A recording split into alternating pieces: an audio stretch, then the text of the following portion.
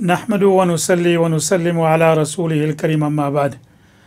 Respected viewers and listeners, we are doing this program and we have entitled it Cultivating Hope Through a Positive Mindset. Obviously, one of the questions that arises out of this title is yes, it's good to have a positive mindset when things are going well and everything is going according to plan. What do you do with regard to a situation where things are not going according to plan and things are not going according to what you want and there are challenges? Now, a positive mindset does not mean that there will not be challenges. It doesn't mean that there are not going to be certain things that things don't go according to plan. A positive mindset means how do we deal with the challenges?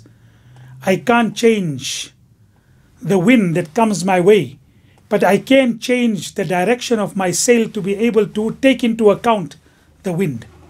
And obviously, we all want ease. We all want things to be according to what we want. Nabi Kareem wasallam told Hazrat Abbas radiallahu ta'ala his uncle, Oh my uncle, if ever you have to make a dua, the best dua to make is ask Allah Ta'ala for afiyat. And our ulama tell us afiyat means a situation of peace, happiness, tranquility, where things are going well. So if ever you have to ask Allah, ask Allah Ta'ala for afiyat. There's a beautiful hadith that Nabi Kareem sallallahu alayhi wasallam had said, and this is part of the positive mindset. اغتنم خمسا قبل خمس. Value five things before five things overtake you. Value your youth before old age overtake you, where you will not be able to do things because of physical difficulty and physical frailty. So when your youth is there, go and do whatever you can while you are in your youth, while you are young. You know, Nabi Karim sallallahu alayhi wasallam had said, when a young person does good deeds, it is appreciated by Allah. And when he forms a habit of doing things, if he cannot do it because of old age, Allah Ta'ala will still continue writing the reward for him because he did it while he was young.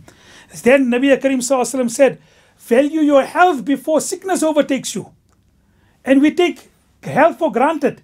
It could be here today, it cannot be there tomorrow. So while you are healthy, go and do things that are productive, which are of benefit. Then Nabi Karim said that value your wealth, that perhaps you might not have the wealth later on.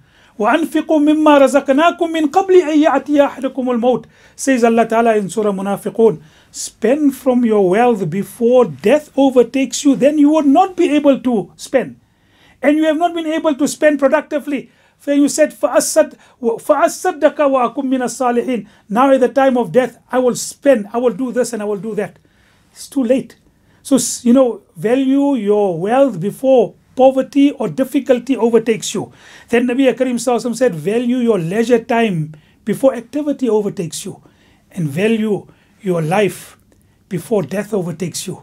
Remember, while you are alive, there are so many things that you can do, which you cannot do once life is over. That is why life is such a great ni'mat. All our benefits, all our advantage, all our aspects of positivity can only happen while we are alive. Even Jannah, we can only earn it while we are alive.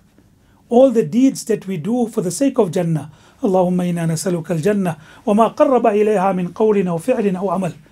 That can only be done in this particular life.